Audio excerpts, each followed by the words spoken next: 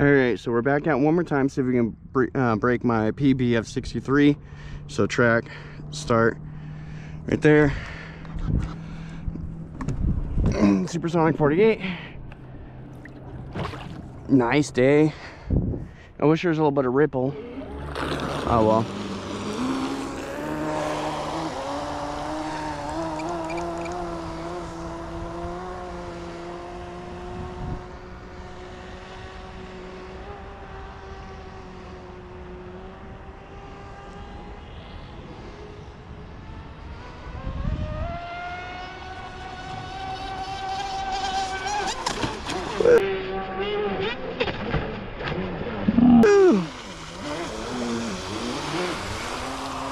Lighty.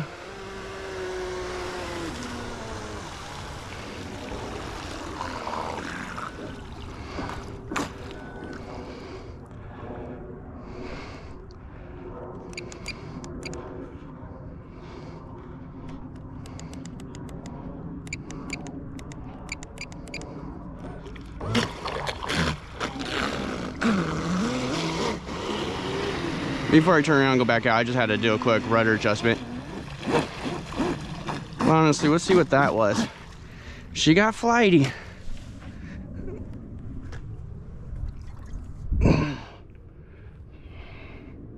Stop. 64, dang. Track, start. 64 though, still damn good. Okay.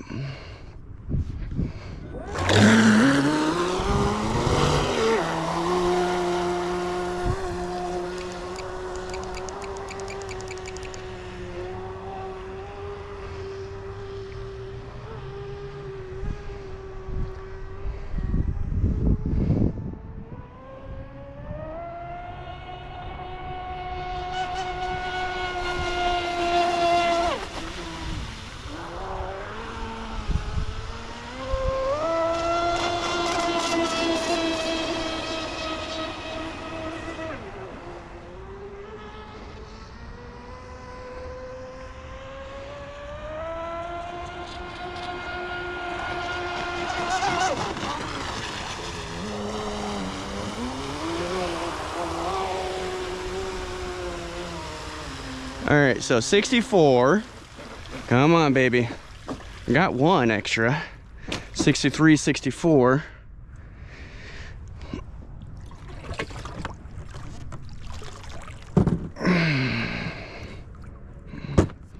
Come on, baby. Ah, 62, yep. Yeah. So basically, the batteries are weaker now. There's a lot of juice it takes to move a boat this size. All right, so 64. That's not bad at all, honestly.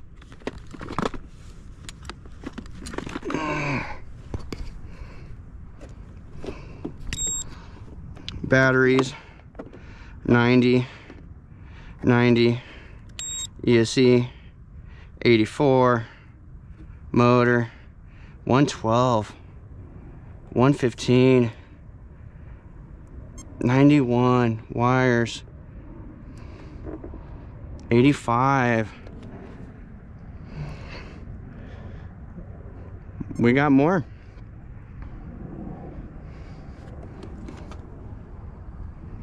Yeah. So 110 on the motor, guys. 120, actually. Yeah, 120. So, you know, 120 is not bad. Like, I can technically keep on going with this setup. Everything's nice and cool. Cool. Well, 64, new PB at least. That's one mile an hour. That counts. Sweet. All right. So we're back here at the computer pulling the data from the 64 mile an hour run just to analyze it from last run to today's run from 63 60, 64. So you know, I got the boat, it's all plugged in, ready to go. so the upper one is from yesterday, uh, from yesterday's run, or the 60 mile, 63 miles an hour. No, top, sorry, the top one is for the today's run at 64. The bottom one's at 63. So, you know, this is where I'm just kind of slowly analyzing it and going through it. So basically, you know, voltage 33.6, so 8S. You know, my ripple is 0.49, which is not bad. It's actually really good. Um, you know, you don't want a ripple of more than like, what is it, 10, 15% of what the battery voltage is. So in a sense, if, you know, I'm, you know, running 8S, so that would be, you know, 3.3 of a, a ripple. So, um, but, so I added a capacitor pack to help kind of smooth out the battery flow, help with the dips and stuff like that. So smooth it out. So anyway, so with that current setup, I'm running, you know, 208 um, amps down there at 62,086 watts. So and at, you know, it did peak at 23,000. Now, analyzing that a little bit more, let's go into it. So, you know, right here, so on the very first part of that clip, you know, the boat came out of the water and jumped. So this is my first run right here. RPM came up and then it jumped. So of course, you know, I'm going to peak right there. So technically, if I put the, try to get the cursor there. So maybe we'll just scroll into that little peak. So it's roughly about 21,658. So almost 22,000 is peaking. So again, you know, I can play with the propeller a little bit more, maybe modify it to get a little bit more RPM out of it. Um, so I'm so close to that 65 mark. That's kind of what been my personal best kind of goal I'm after, or just slightly over. So, you know, so looking at the amperage, the amperage still go more. The uh, motor temperatures are still looking good. Um, So session there and we'll just make sure 954 four pole. So yep, so basically this is from you know the very first speed run 64 when I went back out and which I was doing 62 because of the battery voltage now is starting to come down as you start seeing. And then you know I did after that to kill my batteries a little bit further down I did another five more laps. Um, you know and so just kind of doing some ovals and stuff like that kind of seeing how it work kind of on an oval setup. So, but, you know, for, you know, RPMs, you know, almost 22,000, that's not bad at all. You know, the first, you know, blip, course, you know, the voltage higher, and then, of course, you know, farther down as voltage go, you know, voltage goes, a little bit less and less, but, you know, not bad. Amperage, 208 amps. So, again, you know, that's kind of nothing for the ESC. So, not bad. So, basically, you know, since I can prop up more, um, and then, you know, kind of see how the motor kind of likes it from there. So anyway, so I data off that kind of run, see this is the stuff that I like, you know, looking at, analyzing numbers and trying to use that. So because then I can come back, take that number, you know, compare it to my bottom numbers. You know, this is 63 miles an hour and, you know, close on the amperage and then um, spun a little bit more RPM, uh, 23 and so and then kind of compare it because this is also a good way to compare it if you're compare you know back and forth and graphs stuff like that. So like you know 21, 529, you know I got a little bit more RPM out of it. Not much, but it was enough for that one. That's all, you know, that one just counts. So, you know, I'll go back and forth and compare it like that. And then I will, you know, I got this little calculator right here where I can add all the information to, you know, propeller size, um, what I'm kind of running, cells and stuff like that, and go for it. So, so then I can kind of change it, something like this. You know, I can, you know, modify it, push, put in some different numbers, you know, 1.8, um, stuff like that. Kind of help, kind of spit out a general. It's not always 100% perfect.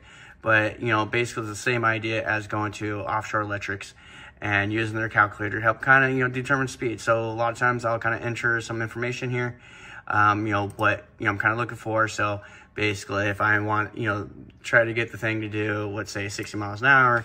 So let's say, you know, 2.1 and then, you know, 1.5, you know, 58 from there is kind of what it's saying. And so depending on what, um, how, you know, basically monos, you know, you got some, what I call efficiency loss, you got hull drag. And usually it's anywhere from 20 to 25% how wet or dry that um, boat is running. So, you know, the more wet it is, the more dr hull drag that's going to be.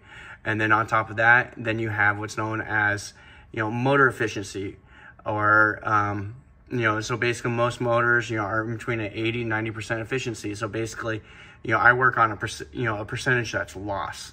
So, you know, so basically, you know, what I'll do is I'll do kind of a, I'll run, get my data, you know, I get my speed, and then I come back, enter it in here and try to get a lot of this kind of work close to what, you know, kind of says. So basically, you know, from Big B, you know, it's kind of using his reference as, you know, his propeller as a um, 2115 ABC, 21 2.1 by 15, and using those numbers um, to try to kind of gauge, you know, how his boat was kind of running. So, you know, this is saying, you know, 58 miles an hour right here projected is kind of the general idea. So then, you know, kind of get him up there. So basically, like his boat was out of the water a lot. Um, he was running some really good batteries. Um, and so, and I th and think pretty light too as well. So in a sense, you know, he got there. So it kind of gets me in a ballpark, gives me a general idea. But some of the things, you know, you know, some of the data and the numbers I like to run. I'm a numbers person, and it helps me tune a boat and you know, kind of you know, push see what I can. You know, it's not always correct with the calculator I use. It sometimes just kind of gets me in a general ball game, you know, ballpark of an idea, and and then until I can get it on the water, that's where I can kind of do a lot of my testing and figure things out. So anyways, so, you know, so I'm to save it. Now I'm to save it. Um, I'm not sure. Maybe I'll get another propeller um, to try one more time, see if I can crack that 65. Um, that's kind of the main goal. But right now, so far, the fastest propeller is the Dash Boda. Um, you know, basically go visit him. He has that 65 mile an hour prop that works for the stock system. Um, you know, the ones I've been running are right up in there. And, but, you know, it's pushing the amperage of what the 160 is capable of. But, you know, many different ways and no boat is exactly the same. So, anyway, so thanks for watching uh, Mad Lizard RC. Please like and subscribe. Um, keep the videos going. It's very helpful.